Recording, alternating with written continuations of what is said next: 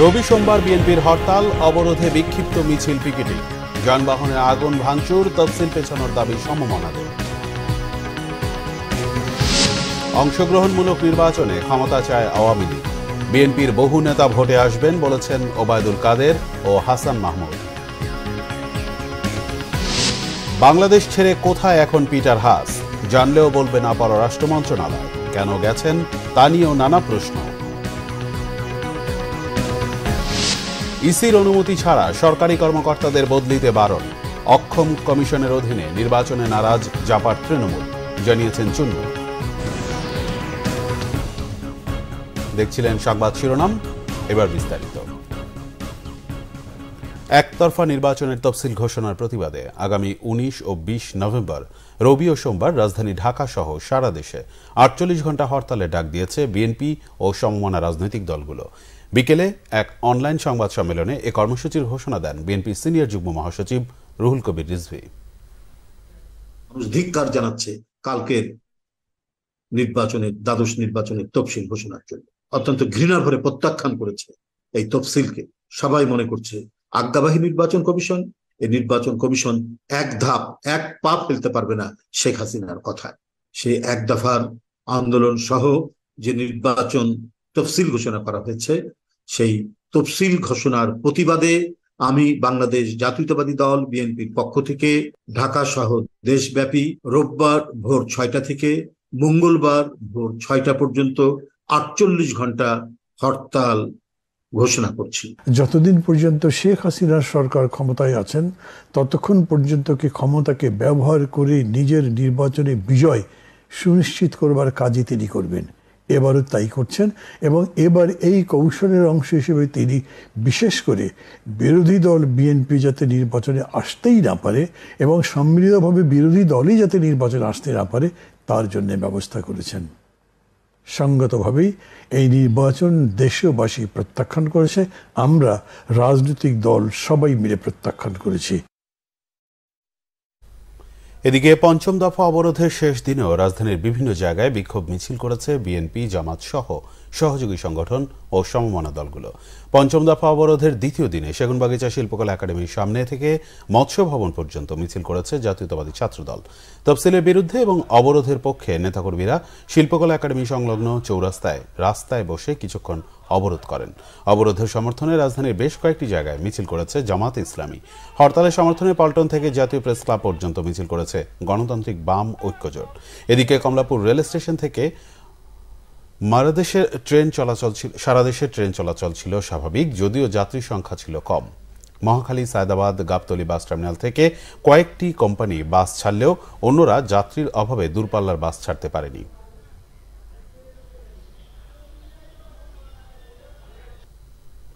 রাজধানী জুড়ে অবরোধ বিরোধী নানা কর্মসূচি পালন করেছে আওয়ামী লীগ ও সহযোগী সংগঠনগুলো। বঙ্গবন্ধু এভিনিউয়ে আওয়ামী লীগের কেন্দ্রীয় কার্যালয়ের সামনে সকাল থেকেই অবস্থান নেন নেতাকর্মীরা। এ সময় নির্বাচনী তফসিল ঘোষণাকে স্বাগত জানিয়ে স্লোগান দেন নেতাকর্মীরা। ঢাকা মহানগর দক্ষিণ আওয়ামী লীগ, ছাত্রলীগ, স্বেচ্ছাসেবক লীগ ও যুব মহিলা লীগের নেতাকর্মীরাও অবরোধ বিরোধী কর্মসূচিতে অংশ নেন। এ সময় নেতারা বলেন, বাংলাদেশে নির্বাচনী ট্রেন যাত্রা শুরু করেছে। এই ট্রেন বিএনপি মিস করলে তাদের মুসলিম লীগের পরিস্থিতি হবে বলেও মনে করেন নেতারা। নির্বাচন বানচালের চক্রান্ত হলে রাজপথে দাঁত ভাঙা জবাব দেওয়ার হুঁশিয়ারি দেন তারা। এদিকে অবরোধ ও হরতাল বিরোধী শান্তি মিছিল হয়েছে রাজধানীর সবুজবাগ এলাকায়। থানা আওয়ামী লীগের সাধারণ সম্পাদক লায়ন চিত্তরঞ্জন দাসের নেতৃত্বে এই কর্মসূচি পালিত হয়।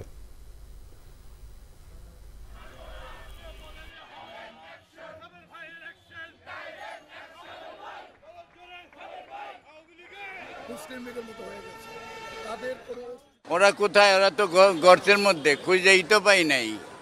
চোরা গুপ্তা গাড়ি জ্বালায়া দুইটাটা বম মেরে কি নির্বাচন বানচাল করা যায়? এটা হবে না। এটা হয় না। তারপরে কঠিনভাবে তাদের বিরুদ্ধে ব্যবস্থা নেওয়া হবে। আমরা হরতাল করেছি, ইভেন রিক্সার পামও ছেড়েছি। তো তারা কোনো অব- কোনো কিছুতে নাই। তারা এই চোরাগুপ্তা হামলা, মানুষের জালমানের ক্ষতি করা তাদের কাজ, মানুষের মধ্যে প্যানিকি ক্রিয়েট করা, আতঙ্ক সৃষ্টি করা। কিন্তু আমরা নির্বাচন সাত তারিখে ইনশাল্লাহ হবে এবং এটা হওয়ার জন্য আওয়ামী লীগের নেতাকর্মীরা অতন্ত্র প্রহরীর মতো এটা পাহারা দিবে। না, এই জ্বালাও পোড়াও করে, হরতাল অবরোধ দিয়ে বাংলার মানুষকে আর বোকা বানানো যাবে না। বাংলার মানুষ ইতিমধ্যে সিদ্ধান্ত নিয়েছে যে এই বাংলাদেশের শান্তি এবং উন্নয়নের ধারাকে অব্যাহত রাখতে জননেত্রী শেখ হাসিনার কোনো বিকল্প নাই। আপনারা দেখবেন সাত তারিখের নির্বাচনে দু হাজার আট সালের চেয়ে বেশি ভোট দিয়ে বাংলাদেশের জনগণ জননেত্রী শেখ হাসিনাকে দেশের প্রধানমন্ত্রী করবে বিশ্বাস করি। আগামী নির্বাচনে বিএনপি সহ সব দলের অংশ নেওয়ার সুযোগ এখনও আছে, জানিয়েছেন আওয়ামী লীগ সাধারণ সম্পাদক ওবায়দুল কাদের। তিনি বলেন, একা একা নয়, সবার অংশগ্রহণে নির্বাচনের মধ্য দিয়েই তারা ক্ষমতায় যেতে চান। তেজগাঁওয়ে ঢাকা জেলা আওয়ামী লীগের কার্যালয়ে সংবাদ সম্মেলন করে আওয়ামী লীগ ওবায়দুল কাদের জানান, সৌজন্যতা বজায় রাখতে শিগগিরই যুক্তরাষ্ট্রের চিঠির জবাব দেওয়া হবে। আগামী নির্বাচন অবাধ, সুষ্ঠু, নিরপেক্ষ করতে কমিশনকে সব ধরনের সহযোগিতা দেওয়ার আশ্বাসও দেন তিনি। দেশের মানুষ নির্বাচনের পক্ষে দু একটা বিশৃঙ্খলা করে তা ব্যাহত করা যাবে না বলেও উল্লেখ করেন আওয়ামী লীগ সাধারণ সম্পাদক। দলের সভাপতি ও প্রধানমন্ত্রী শেখ হাসিনার উপস্থিতিতে আগামী সতেরোই নভেম্বর আওয়ামী লীগের নির্বাচন পরিচালনা কমিটির বৈঠকের কথাও জানান তিনি।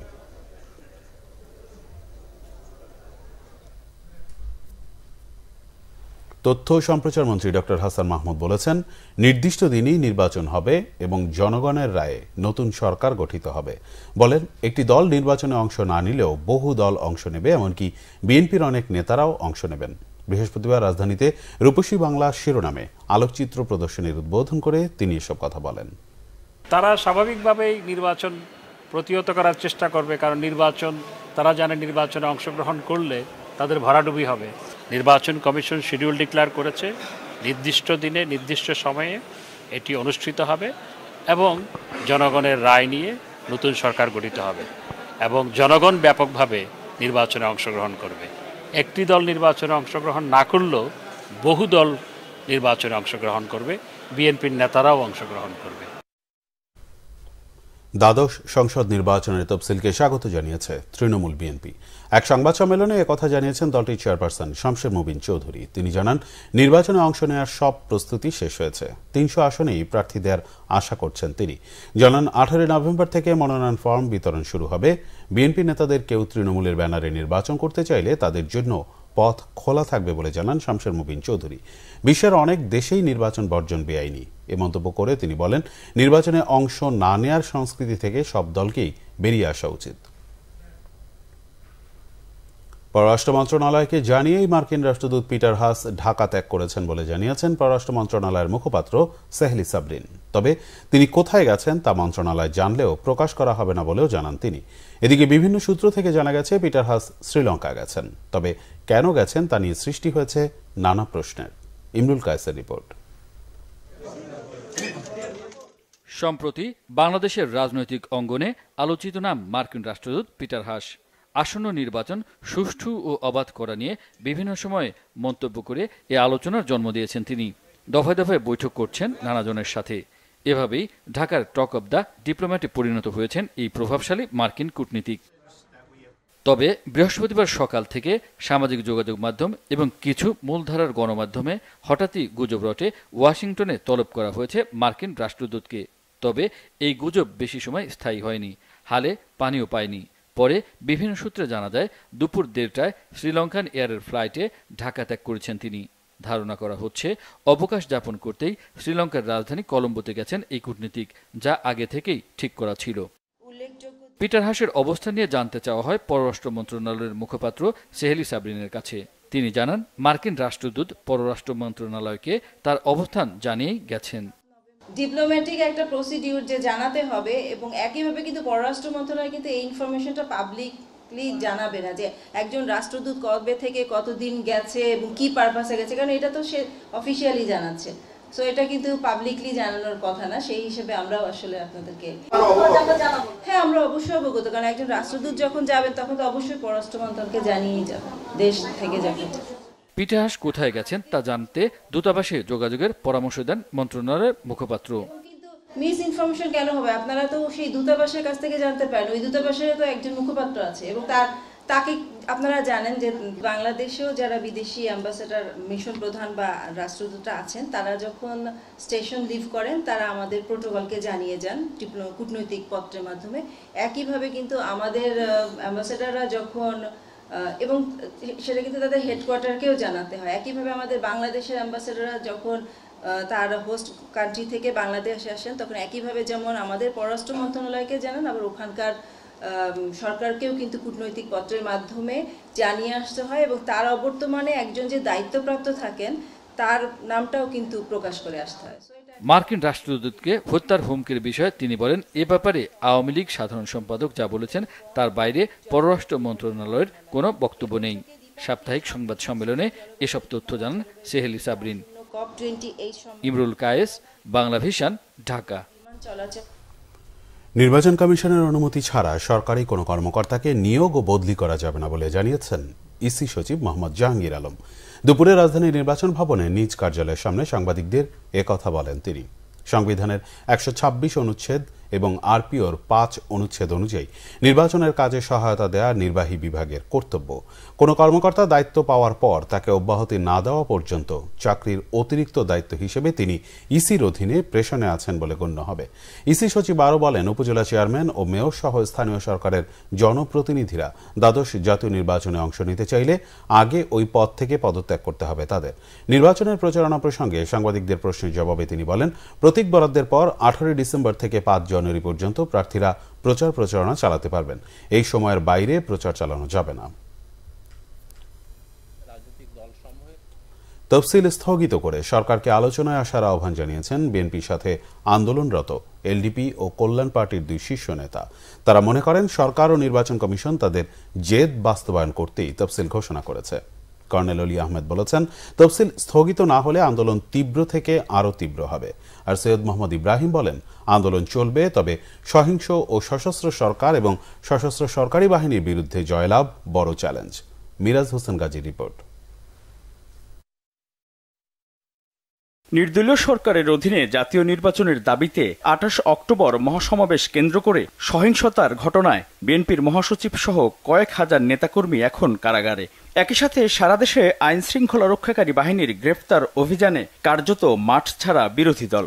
এরই মধ্যে মার্কিন যুক্তরাষ্ট্র সহ পশ্চিমা দেশগুলো অংশগ্রহণমূলক নির্বাচনের জন্য সংলাপের তাগিদ দিয়ে আসছে শুরু থেকেই। জানুয়ারি মাসের সাত তারিখ। এমন বাস্তবতায় বুধবার দ্বাদশ জাতীয় সংসদ নির্বাচনের তফসিল ঘোষণা করে নির্বাচন কমিশন। এই পদক্ষেপ জনদাবির বিরোধী বলে মনে করছেন আন্দোলনে থাকা সমমনা জোটের দুই রাজনৈতিক দলের শীর্ষ নেতা। এই তফসিল ঘোষণার মাধ্যমে জনগণকে অবমাননা করা হয়েছে। গণতন্ত্রের পরিপন্থী কাজ হয়েছে। আমার মনে হয় এখনও সময় আছে সরকারের উচিত হবে বাংলাদেশের সবচেয়ে বড় রাজনৈতিক দল হলো বিএনপি। বিএনপির সাথে আলাপ আলোচনা করে একটা পদ্ধতি বের করে নির্বাচন করার নির্বাচন পনেরো দিন পরে হলে মহাভারত শুদ্ধ হবে না, কোরআনের কোনো অবমাননা করা হবে না। সরকার এবং নির্বাচন কমিশন তাদের জিদের উপরে বহাল রেখেছেন। এই সিদ্ধান্ত কোনো মতেই কাম্য নয়। আমরা প্রতিবাদ জানাচ্ছি এবং আহ্বান রাখছি যে আপনারা তফসিলের কার্যক্রম স্থগিত করুন। সরকার সংলাপের উদ্যোগ নিন। জেলখানা থেকে নেতৃবর্গকে জামিনে অথবা মুক্তি দিয়ে বাহিরে আনুন অথবা সিদ্ধান্ত নিন। তাহলে উভয় পক্ষ মনে শান্তি পাবে জনগণ শান্তি পাবে দেশ নিরাপদ থাকবে।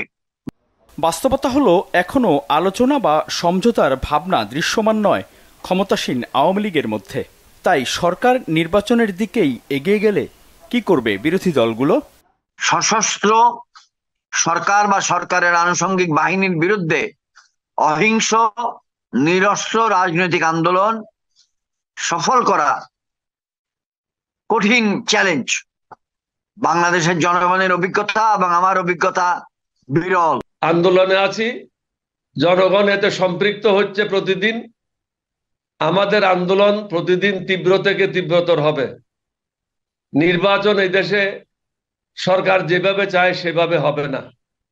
এখন যারা যুবক আছে, তাদের এই উপযুক্ত সময় গণতন্ত্র পুনঃপ্রতিষ্ঠা করার জন্য আমাদের যে কর্মসূচি, সেই কর্মসূচিগুলিতে অংশগ্রহণ করতে হবে, গণতন্ত্র প্রতিষ্ঠা করতে হবে।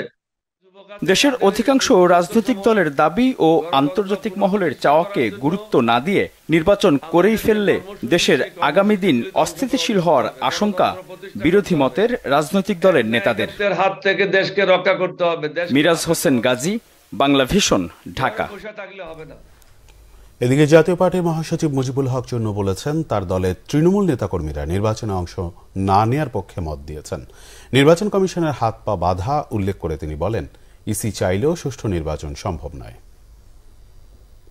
মানুষ তার ভোটের অধিকার কেন্দ্রে গিয়ে প্রয়োগ করতে পারবে, এরকম পরিবেশ পরিস্থিতি আমরা দেখতে পাচ্ছি না। কারণ বড় একটা রাজনৈতিক দল সব বেশ কিছু রাজনৈতিক দল তারা মাঠে আছে, এই অবরোধ দিছে, আপনি জানেন আবার হরতাল দিছে। আমরা কিন্তু নির্বাচন প্রস্তুতি আছে। এখন প্রশ্ন হলো আমরা যাব কি যাব না? জনগণের মনে যেমন একটা প্রশ্ন আছে, ইলেকশন মানে সঠিকভাবে হবে কি হবে না? মানুষের ভোটে অধিকার প্রয়োগ করতে পারবে কি পারবে না?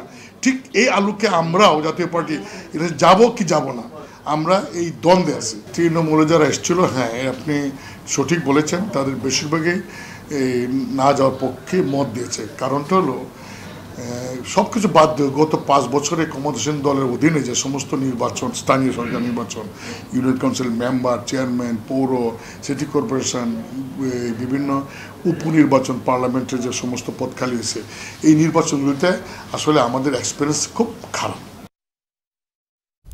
শ্রম আইন লঙ্ঘনের মামলায় সুবিচার চেয়েছেন গ্রামীণ টেলিকমের চেয়ারম্যান শান্তিতে নোবেলজয়ী অর্থনীতিবিদ ডক্টর মোহাম্মদ ইউনুস।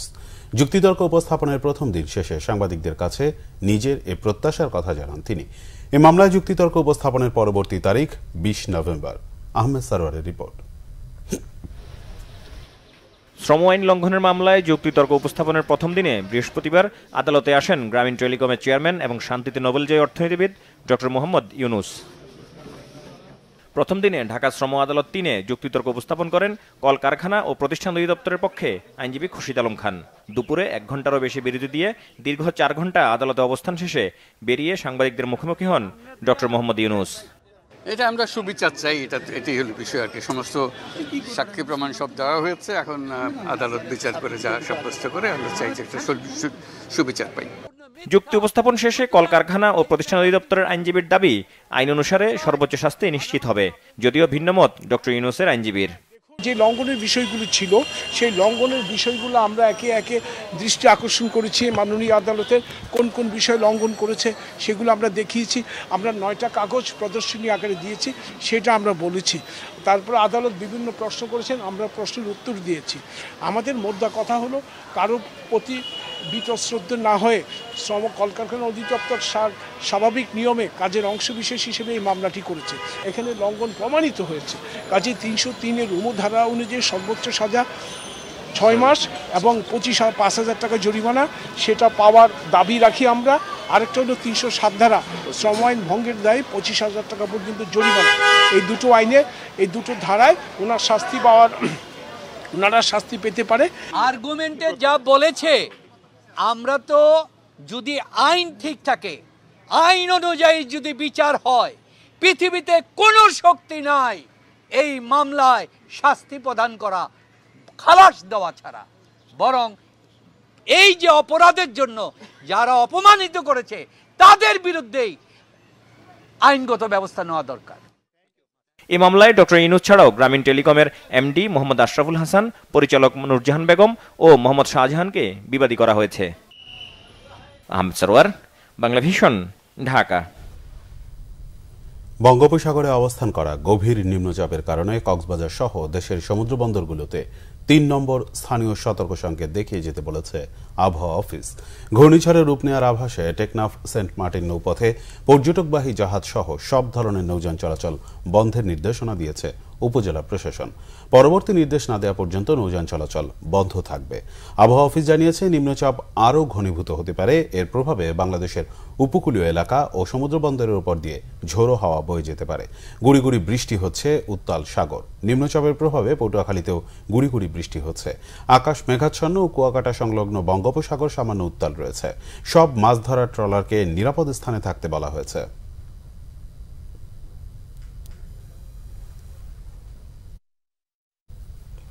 বঙ্গোপসাগরে গভীর নিম্নচাপটি শেষ রাতে ঘূর্ণিঝড় মিধিলিতে রূপ নিতে পারে বলে জানিয়েছেন দুর্যোগ ব্যবস্থাপনা ও ত্রাণ প্রতিমন্ত্রী ডক্টর মোহাম্মদ এনামুর রহমান। এটি বাংলাদেশের উপকূল অতিক্রম করতে পারে আগামীকাল সন্ধ্যার মধ্যে।